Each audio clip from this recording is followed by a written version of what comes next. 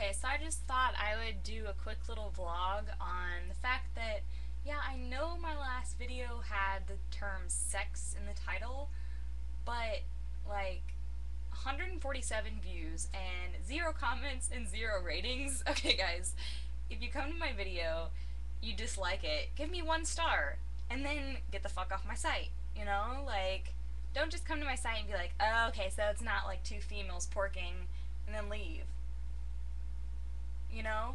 Give me some kind of respect.